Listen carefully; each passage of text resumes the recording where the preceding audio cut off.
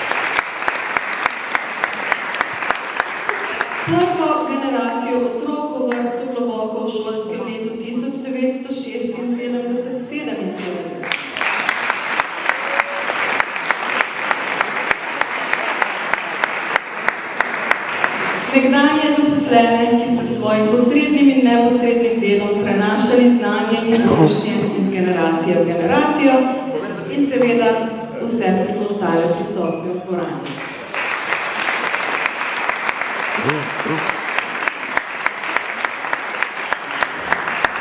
teh dneh smo prejeli tudi sporočilo gospe ministrice za izobraževanje, znanost in šport, dr. Maje Makovec Brenčič, ki se nam za povabilo najlepše zahvaljuje, ker pa se nam žal ne more pridružiti, nam želi prijetno praznovanje.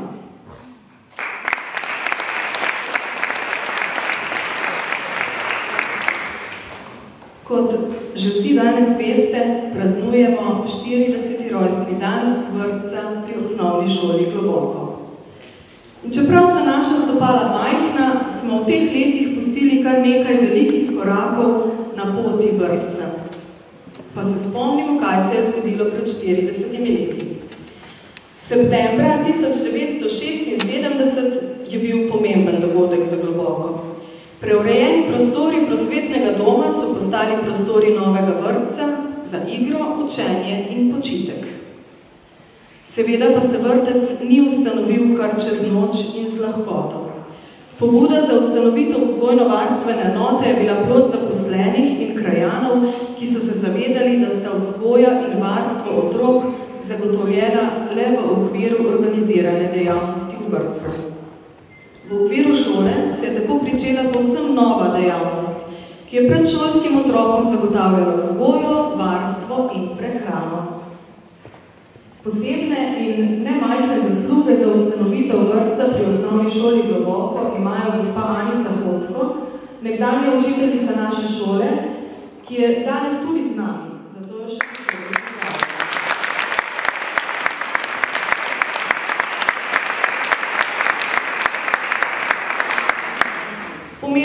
zaslugo, pri tem pa sta imela tudi gospod Ivan Dirnbek, takratni predstavnik krajevne skupnosti Globoko in takratna ravnateljica osnovne šole, gospa Anica Kežman-Mihelin.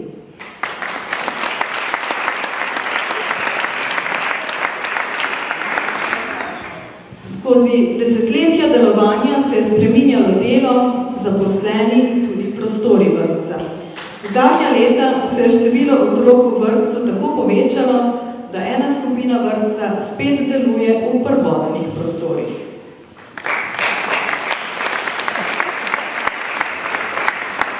Pa naj bo dovolj zgodovine, pojdimo v sedanjost, zato vabim na oder gumbke, da se nam predstavijo.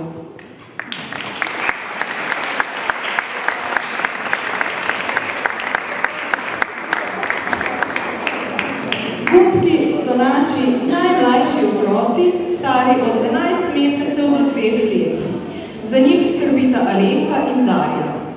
Danes se bodo spremenili v polške in bodo po svojih najboljših močeh gibalno prizorili pesem Viva Lezen. Vidite, da so samo trije. Danes so samo Nina, Laura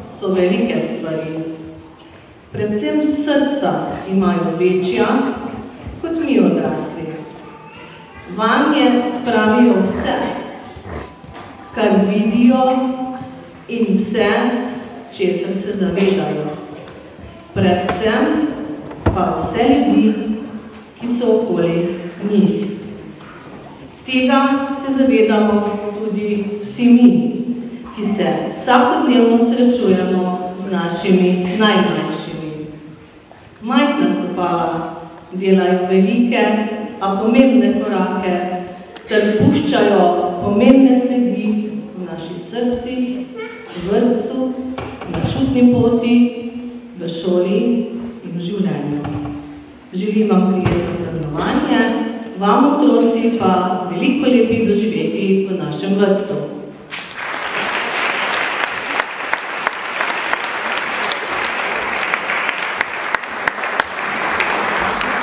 Hvala gospe ravnateljici in že prihajajo otroci, ki so za eno številko čevljev večji od naših gumbkov, to pa so zvezdice.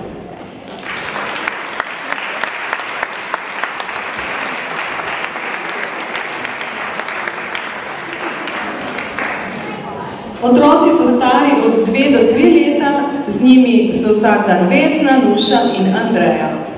Vzgojiteljice bodo otroke začarale v zajčke, ki bodo v pesmici Zajček veselo in prav po zajčija zarajali.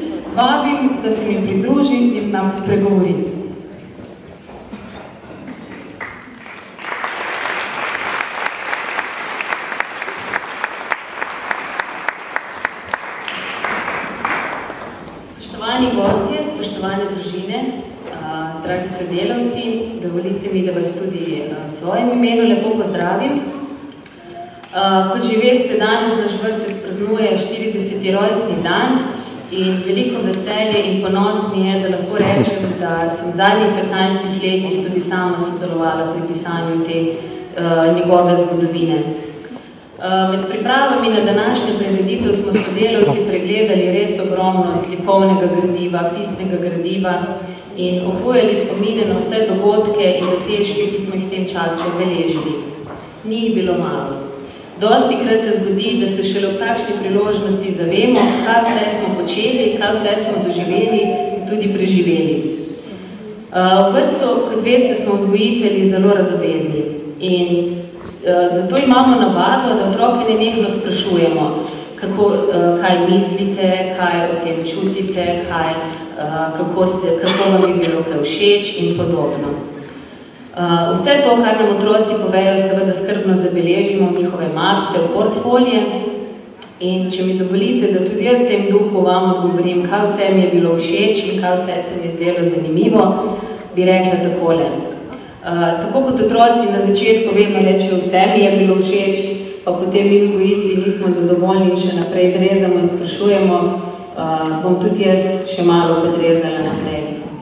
Res mi je zelo všeč, da smo se in da se trudimo otrokom zagotoviti izkušnje na različnih področjih dejavnosti, tako na področju narave, kjer smo na šolskem igrišču postavili čutno pot, ki uspešno nadgrajujemo in spreminjamo že kar osem let, in za katero smo prejeli že kar nekaj priznanj. Ob njej smo seveda postavili tudi vrt, za katerega skrbimo skupaj z otroci in kjer lahko neposredno spremljamo spreminjanje narave in tudi procese, ki se tam odvijajo.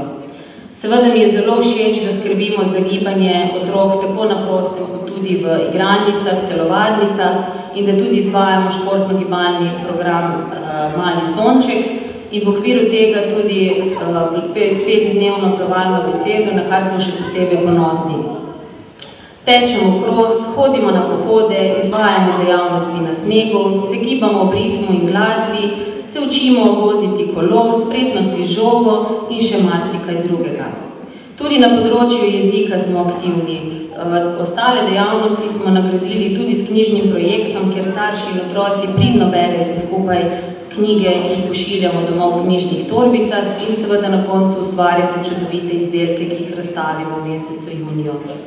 Veliko sodelujemo z družinami, ki se v velikem številu udeležujejo naših delavnic, dni odprtih vrat, piknikov, roditeljskih sestankov, različnih srečanj, za kar se vam seveda tudi na tem mestu zahvaljujemo. Všeč nam je to, da otroke enkrat letno peljemo na ogled vsaj ene kulturne ustanove, ali je to grad, ali je galerija, muzej, gledališče, razstava, predstave, pač odvisno od tega, kaj trenutno v delih raziskujemo. Všeč nam je tudi to, da otrokom omogočamo, da si ogledajo vsaj tri predstave v okviru gledališkega abonmaja in sicer nas gledališče obišče v vrtcu, da gremo z otroki na bivanje v naravi, kjer tudi več ni prespimo da sodelujemo tako s strokovnimi institucijami, kot tudi s posamezniki, ki nam pomagajo obogatiti naše delo in naše dejavnosti, ter nam razširiti obzorja, ko se kje kaj zatakne. Otroci radi rečejo, da takrat na pomoč pokličemo mojstre. In tako nam je s pomočjo mojstrom uspelo pripraviti in izdelati tudi našo risanko, ki si jo boste kasneje lahko ogledali. Všeč nam je tudi to, da sodelujemo na različnih natečajih, ki imajo tako humanitarno, kot tudi poučno noto. Pa še in še in še bi lahko naštevala. In če me vprašate, zakaj se v vrtcu dobro počutim, vam odgovorim, da zato, ker smo sodelovci še vedno zelo radovedni, da si dovolimo slišati otroke in tudi ohranjati otroka v sebi. Da smo dovolj odprti, da si upamo slediti otrokom in tudi jim slediti pri nemogočih idejah in včasih tudi norih predlogih. Da smo dovolj iskreni, da se lahko med sabo povezujemo in, in sodelujemo in pa seveda, da imamo podporo tako vodstva, kot tudi staršev, da si to lahko privoščimo. Od vsega mi je pa najbolj všeč tole. To so dosežki, ki niso posebej izpostavljeni v raznih poročilih, rezultatih in tako naprej.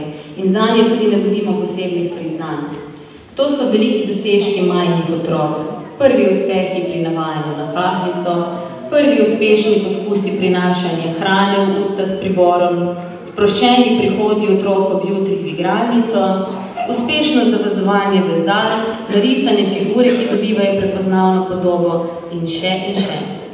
Vsi ti dosežki so tisto, kar nas zjutraj spravi po konci na delovni dan in iz nas privabi pozitivno energijo v prihodu v službo. In verjemite mi, da ni lepšega, kot pregledovati stare fotografije preteklih šolskih let, ko z njih zrejo sproščeni, nasmejani in srečni otroci. Želim si, da bi bilo takega gradiva še veliko, tudi v prihodnosti in prepričana sem, da si bomo sodelovci uspešno prizadevali to še naprej. Hvala lepa.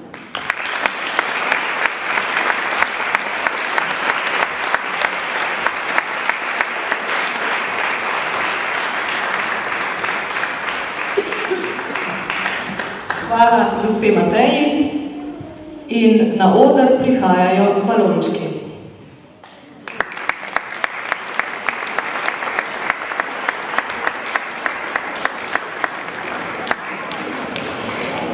Oddelek balončki predstavljajo že malo starejši otroci, stari so od 2 do 4 leta.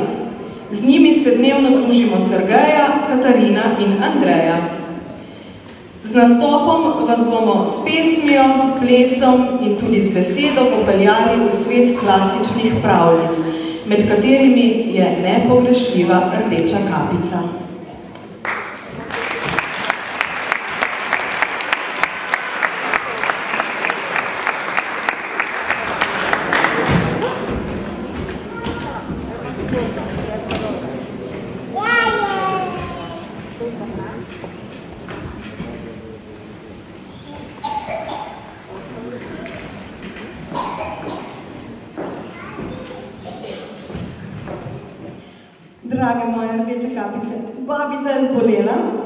In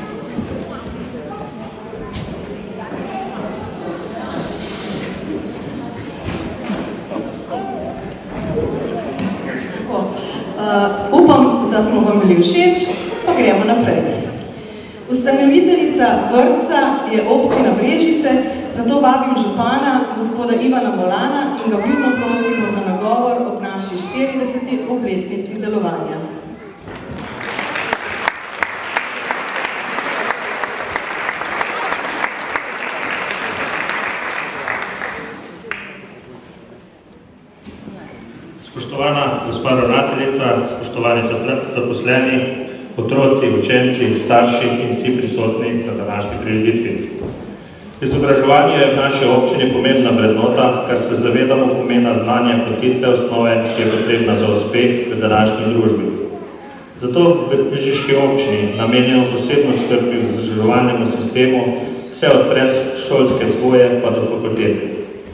V občini imamo osmo osnovni šol, eno podružnostno šolo, en samostojni vrtec in glasbeno šolo, katerih ustanoviteljica je občina. Osnovne šole obiskuje v tem šolskem letu 1944 otrok, v vrtcih pa imamo 856 otrok, za katere skrbi več kot 500 zaposlenih. To pomeni, da je področje predšolske vzgoje in izobraževanja tudi eden od večjih zaposlovalcev v občini. Občina Brežice je želela mladim ponuditi in zagotoviti tudi kakovostno visokošolsko izobraževanje v domačem kraju, zato je bila pobudnica ustanovitve Fakultete za turizem Univerze v Mariboru, ki svoje poslance uspešno upravlja in se močno vključuje v dogajanje v lokalni skupnosti. Tako župan kot občinska prava se trudimo, da vsem javnim zavodom zagotavljamo enake možnosti delovanja in razvoja. Udeležujemo se vaših prireditev in smo v stalnem stiku, zato dobro poznamo vaše želje in potrebe, še posebej potrebe po temeljitiju obnove vaše šole in vrtca tukaj v Globoke. Pogosto se srečujemo tudi z otroci v vrtci in šoli. V letu 2013 ste obiskali občino v sklopu vašega tehničnega dneva. V letu 2014 sem z prvošolci preživel prvi šolski dan, v vrtcu pa smo se družili tudi lani na slovenskem zajtrku. Osnovna naloga občine kot ustanoviteljice osnovnih šol in vrtcev je zagotavljanje ustreznih prostorov in pogojev za izvajanje izobraževanja. Občina ima dolgoročen načrt za investiranje boljše pogoje za učenje in delo otrok in šolskih delovcev, zato v skladu s proračunskom čunom vsakih nekaj let investira v obnovo in gradno nove šole oziroma vrtca. Trenutno poteka več milijonov vreden projekt gradnje osnovne šole Crkve v Krki. Pred leti je bil zgrajen vrtec v Brežice, predtem je občina temeljito obnovila osnovno šolo Brežice, na prednovo oziroma gradno pa še čaka osnovna šola Tiče in vaša šola, osnovna šola Globoko. Občina sproti skrbi za sredstva za zadrževanje šole in potrebne vlaganja, da zagotovimo normalne pogoje delovanja.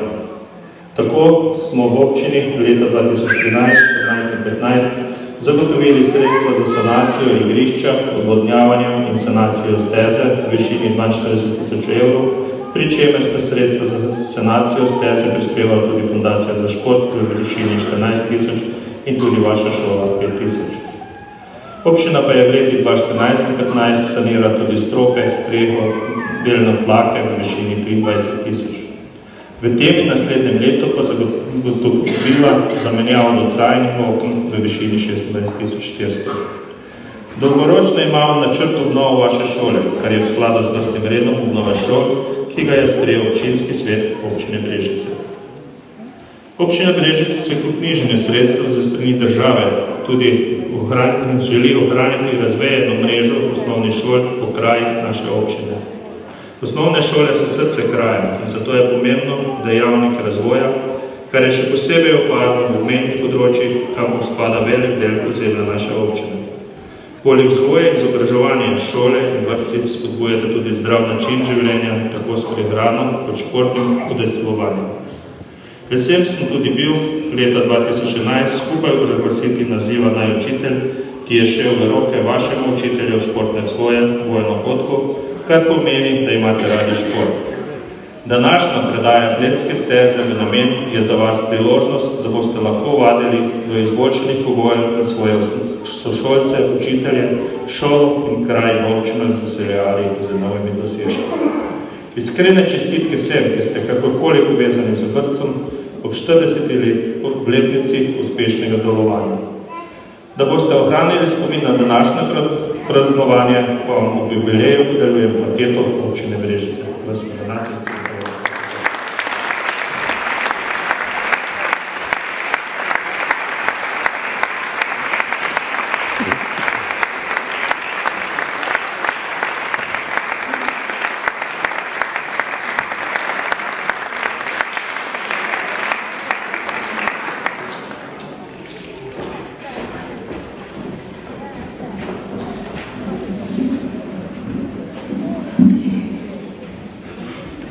Hvala gospodu Županu za prijazne besede. In v našem vrtcu imamo še eno skupino, to so naši najstarejši otroci v skupini Sončki. Izvolite.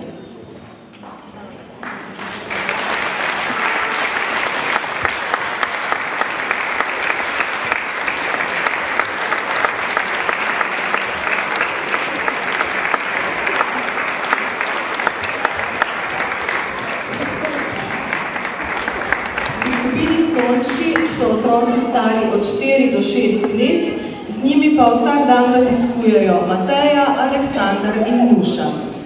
Predstavili se bodo z dramatizacijo zgodbice o Puhici, ki je imela rojstni dan in je mislila, da so na to čisto vsi pozabili.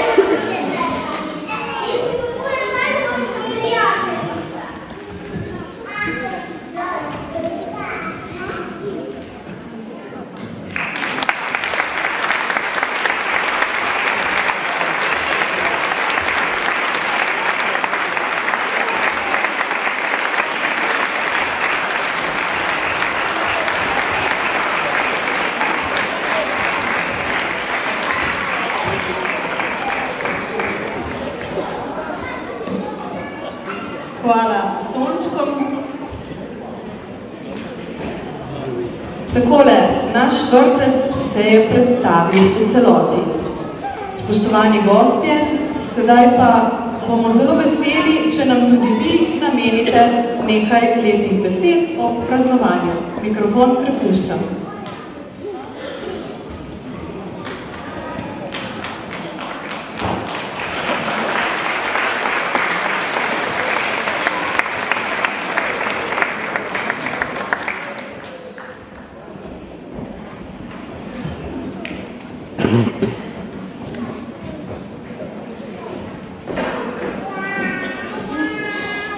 Spoštovana ravnateljica, spoštovani delavci vrtca in šole, spoštovani gostje, posebno zadovoljstvo in čast mi je, da lahko vam danes čestitam ob vašem 40. rojstnem dnevu in zaželim, da boste še dolgo, dolgo let negovali to um, predšolsko vzgojo in osnovno šolo v kraju globoko, kjer se s ponosom spominjamo preteklosti in seveda bomo s ponosom zrli tudi v prihodnost. Ta namen vam učenci in delavci osnovne šole in vrtca Crkve v Krki še posebej čestitamo in prinašamo modrost, ki je stkana v našem znaku za željo, da tudi vi malo pridete k nam in vabim s da se pridružimo odnosno.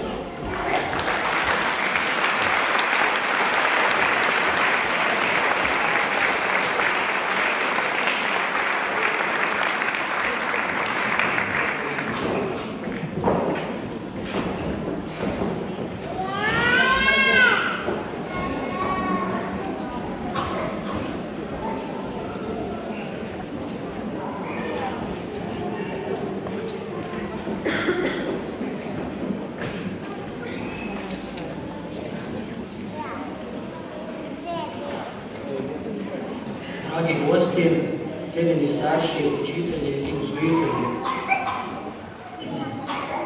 Danes praznujemo visok jubilej 40-letnico vrtca pri osnovni šoli Globoko, ki nakazuje, da je vrtec v domačem kraju zelo pomemben člen verige, ki zagotavlja organizirano varstvo, vzgojo in izobražuje naše male velikane. V samozavestne, iznadljive in uspešne osebnosti v domačem vrtcu odrašča 40. generacija otrok.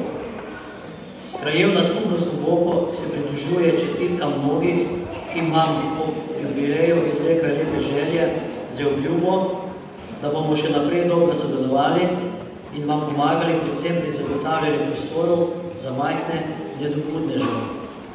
Naj vam od te priložnosti podarim priznanje krajevne skupnosti Globoko, vam, dragi gostje, pa želim, da bi se v Globokem vedno dobro počutili in se k nam radi vračali. Prosim, da gospodine.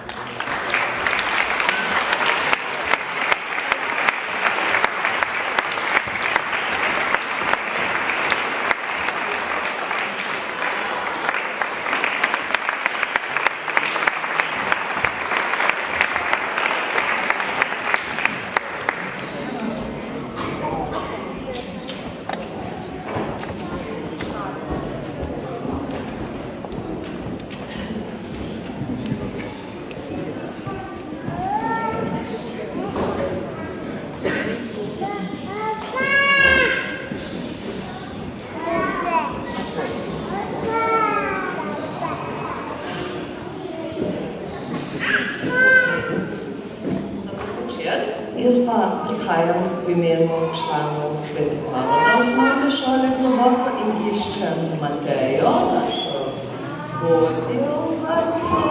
Pa se, aha. Draga Mateja, čestitam ob vašem rojstnem dnevu in uh, tebi in tvojim sodelavcem želim, da še naprej tako ljubeče in načrtno skrbite za te majhne, za male mladice, ki prihajajo vsak dan radovedno na še manjših stopanjih v vaš vrtec in delajo zelo velike korake. Čestitke.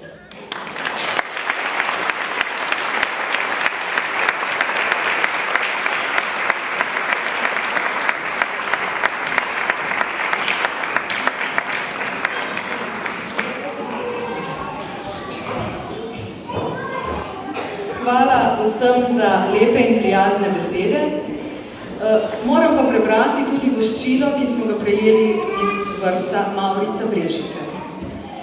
40 let je že odkar ste v svoji stavbi odprli vrata učenju in druženju najmlajših otrok. A niste odprli le vrat, odprli ste svoje srca, delili nasmehe in objeme. Delali ste nove korake in uvajali nove metode dela. Za vsa leta strokovnosti, srčnosti in učenja vam iskreno čestitam. Za novih 40 let vam želim veliko izzivov in radovednosti, da boste svoje delo lahko še naprej nadaljevali s tolikšno mero strokovnosti in srčnosti. Nataša Kostrevc, pomočnica ravnateljica, ravnateljice vrtca Mavrica Brežica.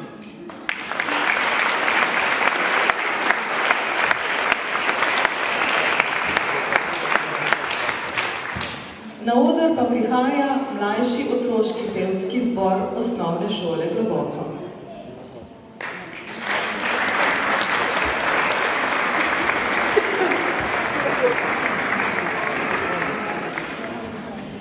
Učenci prvega in drugega razreda osnovne šole so bili še nedolgo nazaj v naših vrstah, danes pa se bodo predstavili v zborovskem sestavu.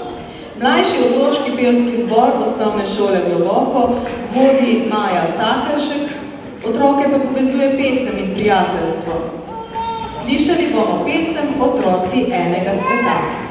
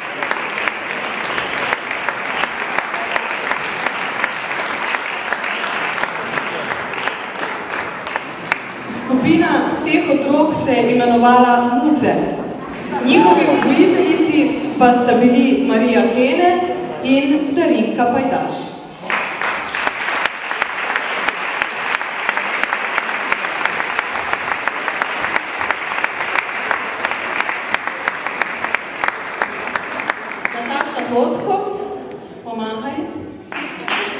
Lidija Kostelac.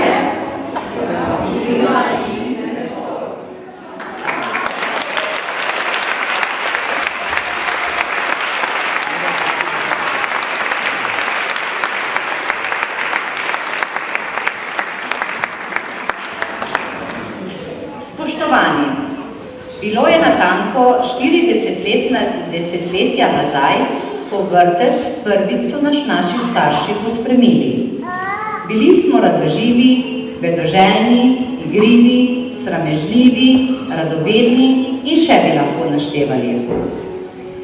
V svoji knjigi je Robert Burgun zapisal, vse, kar moram vedeti, sem se naučil v vrtcu. In če malce pobrskamo in gremo skozi obdobja najzgodnejšega otroštva, ugotovimo, da smo se res že v vrtcu naučili vse, kar moramo vedeti danes. Vsi mi pa vsak po svoje, vsi mi pa se vsak po svoje spominjamo časov v vrtcu, čeprav se takrat zaradi naše majhnosti nismo zavedali. Smo prva generacija vrtca osnovna šola globoko.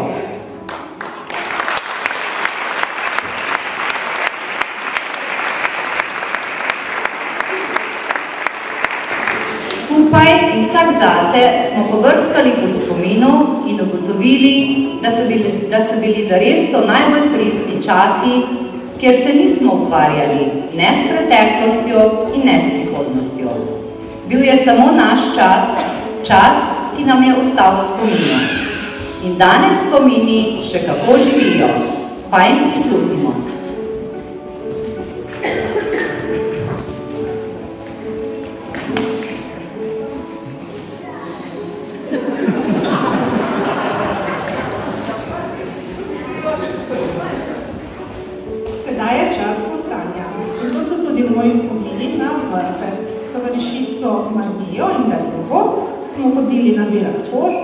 Ga spekli in tudi pridno pojedli. Vse šli smo spat, a jaz raje šla bi se igrati. Še zdaj mi je hodo, ker vrtec več ne hodim.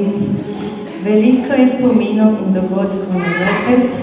Hvala gospe Mariji in gospe Darinki za njihovo potrpežljivost, ljubezen in toplino, eh, ker so v teh letih poskrbeli za mene, ker me niso razumeli, še manj pa prepoznali. Moj prihod v vrtec je bil zelo hiter, ampak je bil odhod še hitrejši. Najbolj živ spomin mi je ostal na stara škripajoča se, škripajoče stopnice, kjer so vodile do stanovanja naše vzgojiteljice Marije. In najbolj vesela sem bila, ko je avtobus, s katerim je mama prišla iskat zamudil, ker takrat sem bila njena gostja. In v tistem kratkem času sva se medve dogovorili, ker govorila sem pa zelo rada, da me vzame sabo z vlakom v Trbovlje. Res je bilo tako. Moj nauk iz vrtca je, da v lepi stvari je treba uživati do konca in še malo dlje. Jaz z Alenko smo očitno taka čudaka, ki smo vrtec predčasno zaključili. In meni osebno zdaj že poteka 39 let, ker to dejanje obžalujem. Zato zdaj, če pridem vedno do zadnje, vsake veselice grem je to to posledica tega. Težko najbolj pobrskati po spominu za 40 let nazaj, lažje je mogoče sešteti, koliko smo stari. Uh, vendarle, uh, poleg tiste majhnega grobe z rumenimi klopcami, levo pisarne, dišečega vonja po beli kavi, še toplega vanilevega pudinga, ki nam ga je zajemalko delila zgoditeljica Darinka, se predvsem spomnim tiste tople domačnosti, pristnosti, spontanosti, ki ste jo izželevali Marija in Darinka.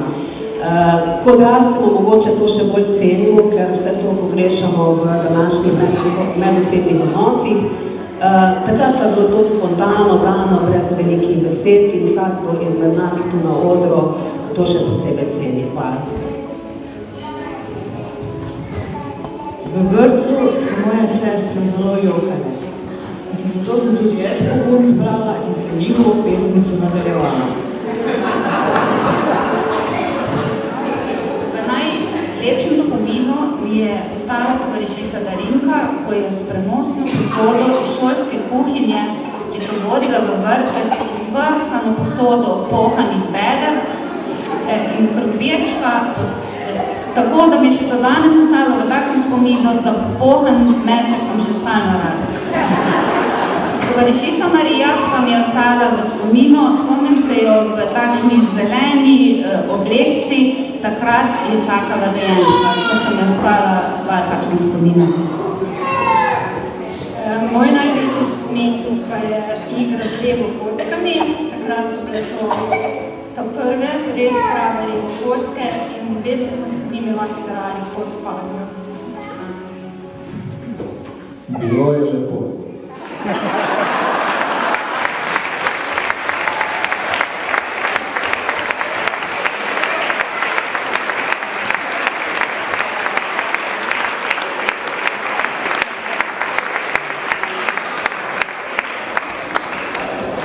Občutki ob naših spominih so nepopisni. Še bi lahko govorili in se spominjali naših najlepših časov, pa vendar. Od takrat do danes je življenje dobilo nov zagon in s tem tudi naš vrtec v osnovni šoli globoko.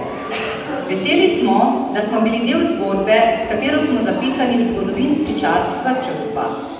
Zato smo še posebej ponosni, da smo danes vsi mi, tudi kot starši naših otrok, ki so prav tako obiskovali naš vrtec. Skratka, nekako ostajajo korenine, ki počasi, a vztrajno zrastejo. Tako smo tudi mi zrasli in želimo si samo to, da bomo nekoč zopet čez nekaj desetletij spremljali in občudovali popotnico naših najmlajših, katero boste tako kot ste vsem nam, dali tudi našim vnukom. Najlepše je življenju, če se rodiš lep, pameten in obdarjen s tisočimi talenti. Vendar to še ne pomeni sreče, uspeha in zadovoljstva.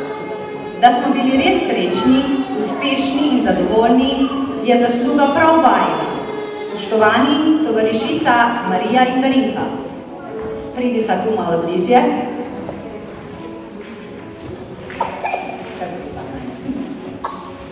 Hvala vama še enkrat za varne objeme, tople besede in iskrene nasmehe. Vse to je bila bogata popotnica za naše življenje. Da pa se boste v prihodnosti še kdaj lažje spomnili na nas, pa vam v spomin in tudi zahvalo poklanjamo fotografijo Kuška, ki smo ga pred 40 leti izdelali skupaj z vami. Veseli smo, da ga je naša Nataša shranila kot dragocen spomin na to lepo obdobje našega otroštva. Pa si ga pogledajte.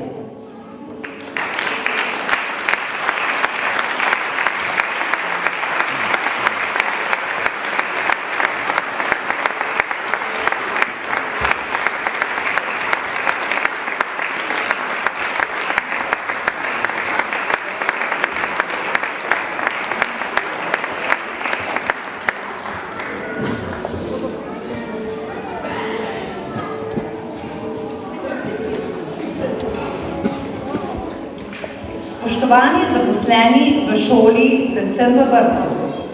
S tem, ko ste nas povabili k sodelovanju današnjega programa, ste dokazali, da smo še danes prva izmed črk v najlepšem mozaiku, katerega sestavlja naš vrtec. Prosim uh, ravnateljico, da nam pristopi.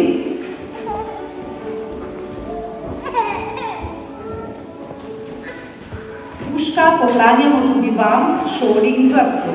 Želimo vam še tako uspešno delo naprej.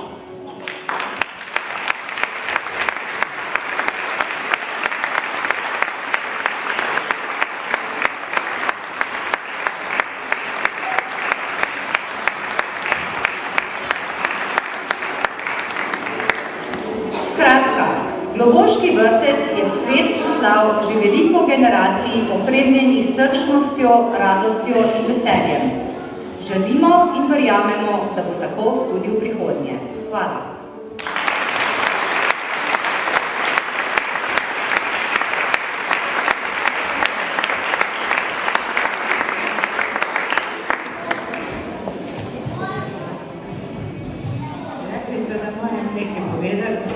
pripravljeni sem ne zaradi pove iz srca. Nažalost je prišel, jaz sem vem, da bo nato, nažalost je prišel čas, ko se eh, zahvaljujemo drugemu za čas, ki ga preživi z nami. Eh, zato se jaz danes nisem zahvaljevala, ampak se vam bom zahvala, da ste se da ste tako čudovito pripravili eh, vso to točko, Mislim, da vam je to za vas ena nova izkušnja, eh, da boste svojega otroka danes, v danes naprej gledali, recimo v tehnika, ki se vi pripravljali, pa ne. Eh, zato bom rekla samo hvala vsem in vsakemu posebej, eh, ki bomo potem tam šli.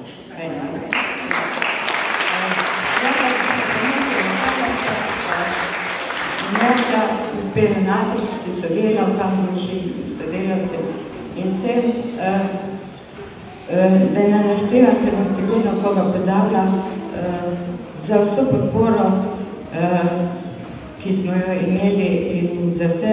Že, bilo je nam že toliko veliko želja izrečenih, da lahko rečem samo še samo tako naprej delajte še v bodoče. Hvala lepo.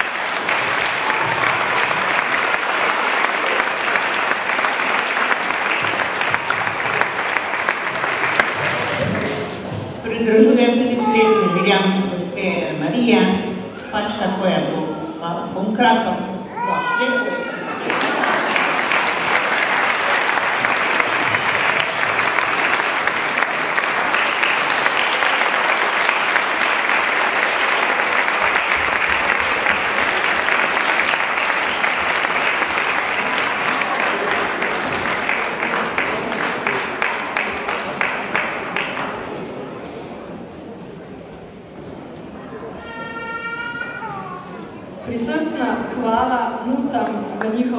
nastop in korajžo, da so nastopili. V vrtcu želimo vsak rojstni dan narediti nepozaben. Danes vsi skupaj z vami praznujemo rojstni dan vrtca, za jutri pa samo našim otrokom pripravljamo posebno praznovanje s presenečenjem. Vse boste zvedli, ne bom zdaj povedala, boste jutri zvedli, kaj je bilo. Brez pesmi, ki jo običajno pojemo v rojstnih dnevih, pa seveda tudi danes ne bo šlo. Zato prosim balončke in sončke, da pridejo na oder in da skupaj zapojemo pesmico za rojstni dan.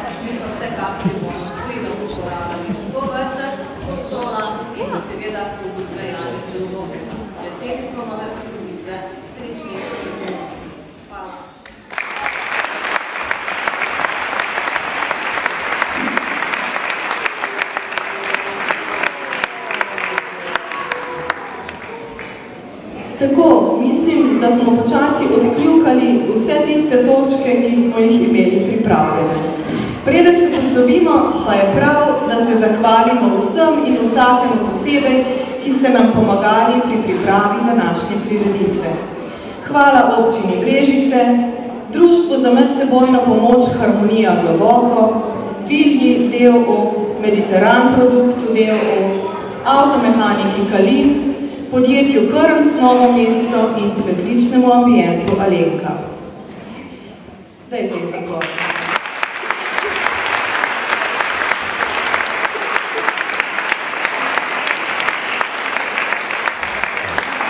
Hvala seveda tudi vam, spoštovani obiskovalci, obiskovalci in obiskovalke.